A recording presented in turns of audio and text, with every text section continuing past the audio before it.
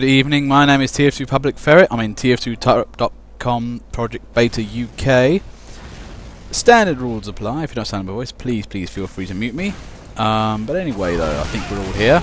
And some tightrope. And the games begin. Okay, today we're on Viaduct. King of the Hill Viaduct is the one of the few maps I really tend to like a King of the Hill. The other ones I find are a little bit... I know.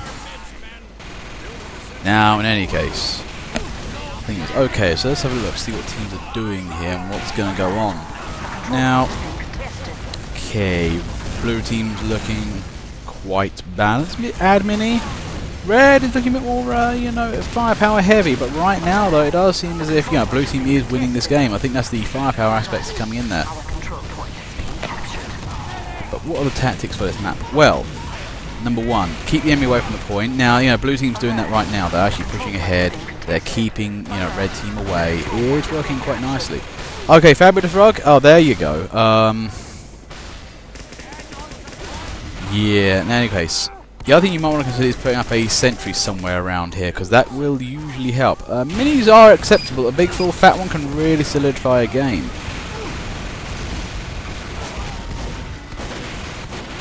Now, Dr. Prohibition Fanning. Hasn't changed name yet, but still looks like he's got the magic. Uh, no, I can't because this is not my server. You guys do need to remember that Tightrope isn't my server. Uh, it's only my um, commentary on Wednesday and Friday, where it's my server Prime that I can do anything, to be fair. But nice work from Base Square, takes out clobbers two people. Um, perhaps, uh, if you want to put something into the discussions, please, please feel free to do so. And to be fair, actually, uh, the Pro one has that little underpass there, which does make it so you can actually um, move in around the side.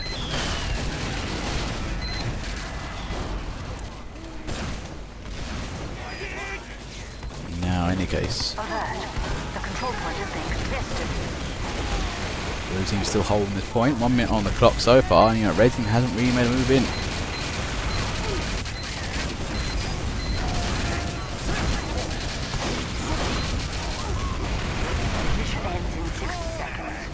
And it's looking like a rollover game for the moment. Blue team is really winning this. Oh yes, update about the weapon. Number one, the heavy lifter. 65% quicker weapon change. And also you're now immune to uh, weapon knockback. So that's good.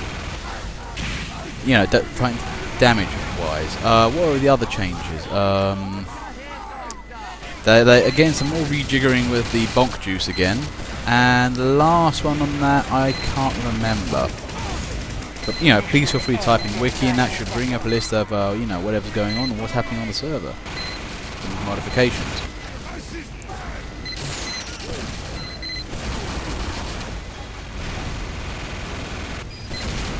Anyway, 16 seconds from the clock. This is looking like a whitewash game from blue team here. We may need a scramble. Uh, yeah, I'm thinking a scramble is probably the best idea right now.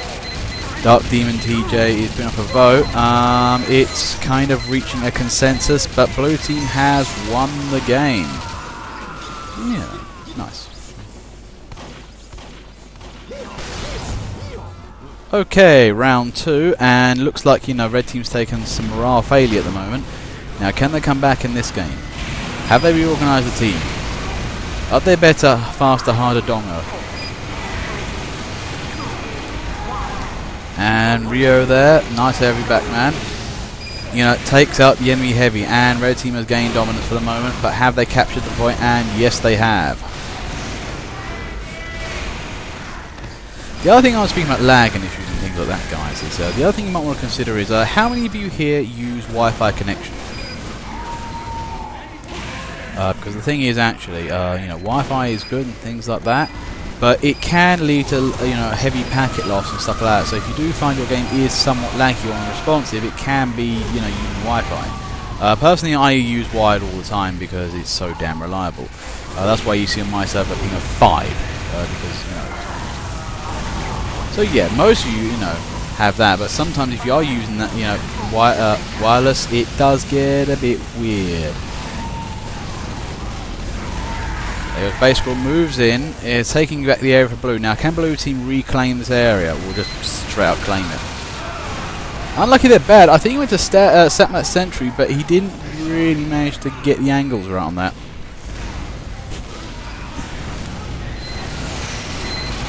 Oh, criminy. I don't know how GBK got... I don't know how GBK got away with that for so long. Long enough to kill Tom. I think the Sentry's busy killing something else. Tom Unluckiness strikes back again. And inadvertently, has that, that, uh, are you not ill anymore, Tom?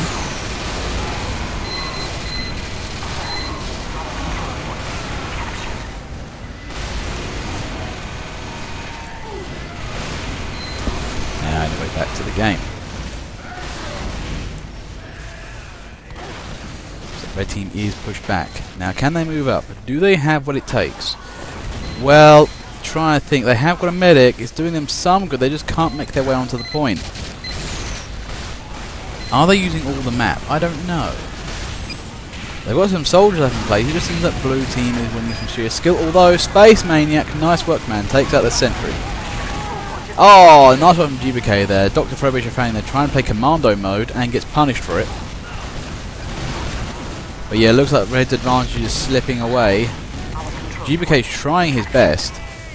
I mean, he's a good scout and all, but he's getting clobbered pretty hard most of the time. And what is this? Rabbit Collie. Stabson holding the line for red team. And nicely done there. Stabson actually managed to take it. Now, how long can he keep it going? Not very long from the looks of it. Red team looks to have abandoned him quite heartily. There go. nice work. You managed, to you managed to tick down 9 seconds for Red's clock. How do you feel? Well, I feel great. It's the great day of my life. I want to thank my family for raising me, teaching me what left and right is. but right now, at the moment, it just seems that blue team is putting a lovely, lovely, um, you know, just counter attack or straight up attack in some cases. And oh, oh, bad, lovely triple stab there, annihilates that whole left blue team there. Nicely done. Ex that was some excellent backstabbery there. Now, red team's got a chance to move in now. Chance, not necessarily a uh, guarantee, and that nice work from Rabbit Collie there. Prohibition Fan did not look directly upwards, which is where the enemy was, and look at this now. Ah, oh, some beautiful capping there. And okay, 155 versus 29 seconds. This is going to be a bit contested. This is not looking favourable to a uh, blue team, uh, red team. Sorry.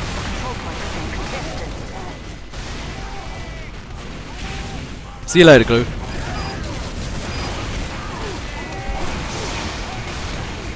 Unlucky that looks Frobisher Fanning.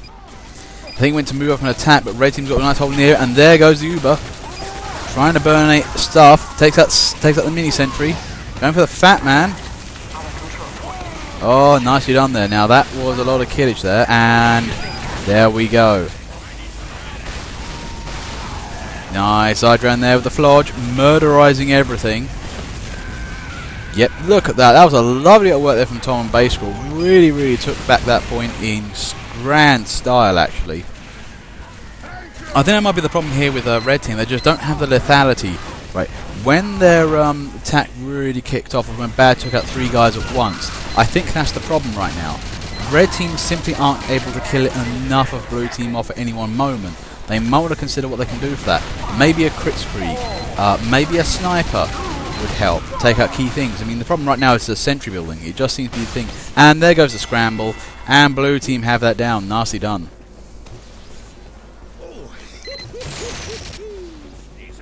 Okay, round three. Teams have been scrambled. Some saltiness there uh, from certain members of the team for, you know, W plus M1 tactics. Never mind the fact that there was a medic behind all that. Uh, you know, the thing, it does tend to work in the right situations, and that was it. You know, um, yeah, don't hate the player, man. Hate the game if you have to. But the thing is, WM1 was the original Pyro. Um, you know, it's got legitimacy as a tactic.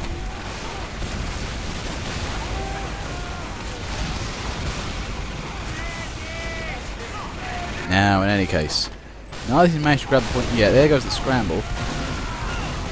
GBK trying his hardest there to avoid all kind of fire. Oh, no, missed that from bad. See you later, Pancake.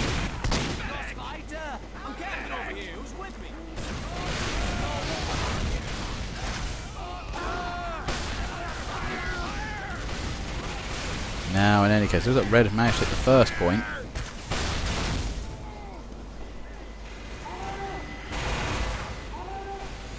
Now, are Blue going to go for the counter attack? Right now, I'm seeing some prime time saltiness here. It just seems like the M, the M1 versus the M2 uh, community here at war with each one another. And there goes, um, not sure that is Base Squirrel again, murderizing a few people, and there it goes. Chrono Sounds tries it. There he goes, moves in. But, you know, you say players out there, nice work, go straight for that heavy there, and that's the thing actually. Um, you said WS M1 is hard, but he did actually something that most good pyros do, which is not attack entirely, entirely head on, and did ambush that heavy. Um, you know, so there is an art to WM plus one. It's just a bit subtle. Subtle like a brick. Any case, looks like Dr. Probish are fanning it out. Uh, oh, well, somebody urinated on the medic heavy combo. And yet, Dr. Probish Fanning's uh, as well in piss is making an appearance again.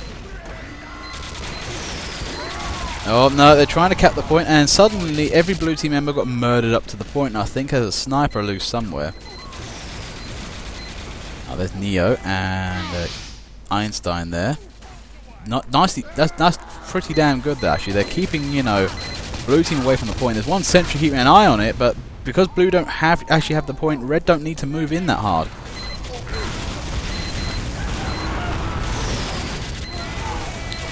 Lucky that Dark Demon TJ moves on the point. That sentry though, that lovely kind of back end sentry, level 3 one. Doing some grand work. It's over a hill and bad there with a nice, nice stab.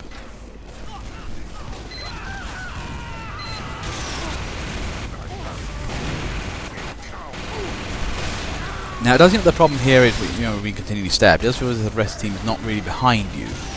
We're doing so you might want to wait up for the rest of the team. But look at this though. Nice work here from Dark Demon TJ, getting in behind the sentry where they can't find. And there goes the Uber. Murderizes everything. Gets the sentry, gets that. Blue team just need to move in and claim the point now. There they go. Yes, nicely done. Now, Red's only got 20 seconds left, so Blue pretty much have to win the game from here. This is going to be more than tricky.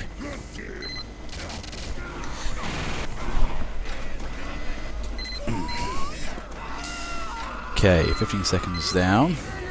Blue is not in a favourable position right now.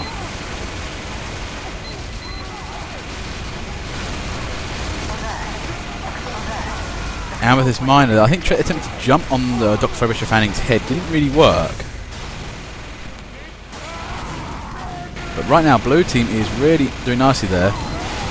Dr. Frobisher Fanning just finds the spy. Now, that's, you know, again with the bumping into guys.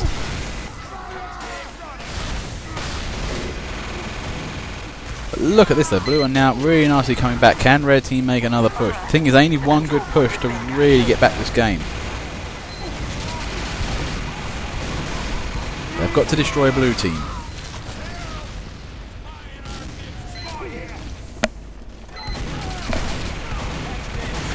At the moment though, that sentry long range is really becoming a problem. I'm confused there. It's really stopping these snipers becoming a massive threat. Blue are nearing their half time. This is looking good actually. They're making a comeback now.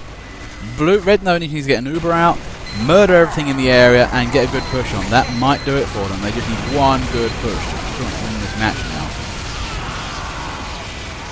But look at that crit. Oh my god, there goes Stabson epic killer. Murderizing everything, get rid of the sentry. It's looking good. This is the push red needed. There goes Base Screw. Oh my god! Base Screw defends the point. That was Flodge work there. Takes out a ton of people. Can Blue Team just about hold this area? Nope, they didn't. And there goes um, 20 seconds left in the clock here. Blue Team need to reorganize incredibly quickly and get on the point. Oh, oh no, who was that spy? Unlucky that TLX408. You did, Poe just fired the flare at the wrong, worst possible moment. And Blue Team are coming back. They're going for it. Time's to on the cap. Oh, jeez, Now, and right now the, M the M1 Flodge is working. It is uh, pretty much holding this game away from blue. That's some nice work there by Chrono Sounds. And yes, MVP for that round.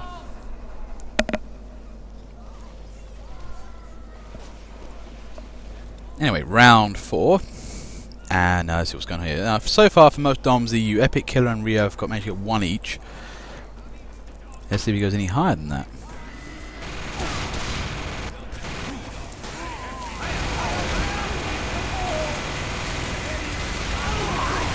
I don't understand really the necessity of playing in a style that's easy. But then, you know, you play easy, you play an easy style with a certain art form, and then it's like people have this thing of, I don't know, like being honourable. I don't think many game players are that honourable to use a skill set where that basically you don't have to do much. The problem is, we hear people say, yeah, don't use M1 because it's too damn easy but then everybody uses Dead Ringer anyway. It doesn't make sense to me. You can't say like Pyro players just Pyro players and Spy players like Spy players. That doesn't work that way. So I think the thing is, people just find, um, yeah, the thing is, it's just, you know, M2 is good, but it's just not, you know, the end of the thing. You can't just despise people who use M1 simply because they're tactically still effective, so somewhat lazy.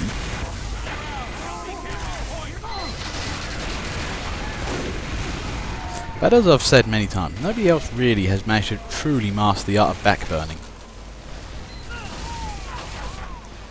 You know, the special kind of WM1.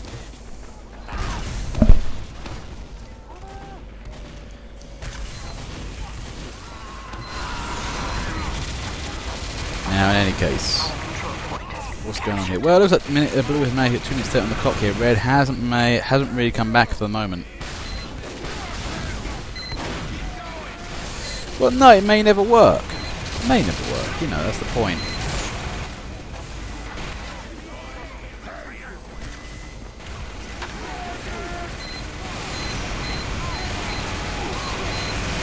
Now, in any case.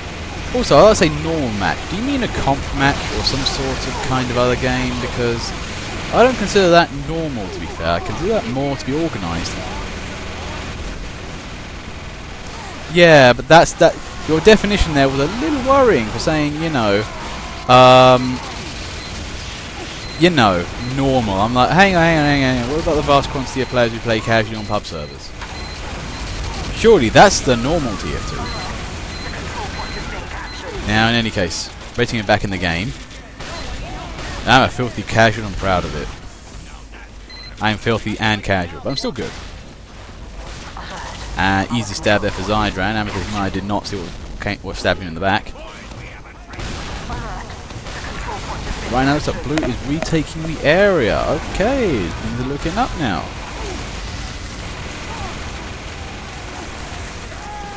Oh, dear, unlucky that Rio. Now, to be fair, I would have clobbered uh, Chrono Sounds by then. I think it comes down to aim. oh no, Jesus Christ! He's moving in, destroying everything right now. But then again, he's kind of playing like a backbone of Pyro in some ways. Approaching people from the side, and unlucky, they're shot straight in the face.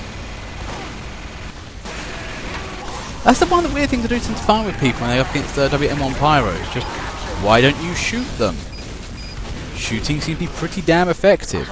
I mean, I've been an engineer before, and I've just shot in three times they've run towards me because they're not strafing. And, you know, it just works. Thing is, WM1 wouldn't be such a major problem if were just shot what was directly in front of them. You know, hence why, you know, you can't do it with heavies, so that's pretty much exactly all they do. And then some people find, you know, heavy still kind of a difficult class.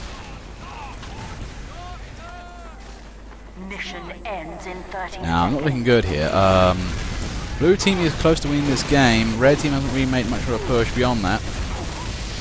There goes Chrono Sounds. Uh-oh.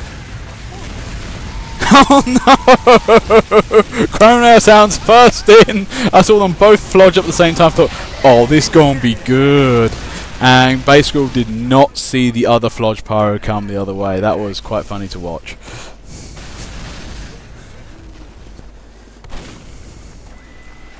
No, you, you both kind of flodged up at the same time and then went round the corner at the same time. The problem is you didn't see him coming your direct left. That was the problem. Yeah, and Chronosense was quick on the... Yeah, that's it. He had the burn on you quicker.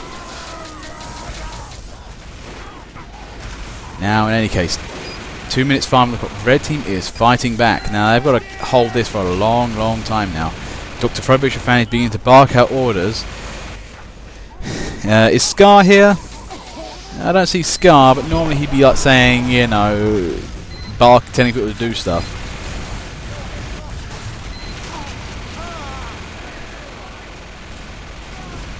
Now, not looking good here. Blues are going to retake the area. Oh, nice work there.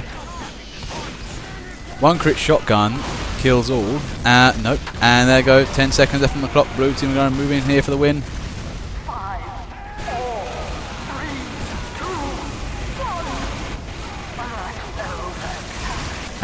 Blue team takes that game. Nicely done.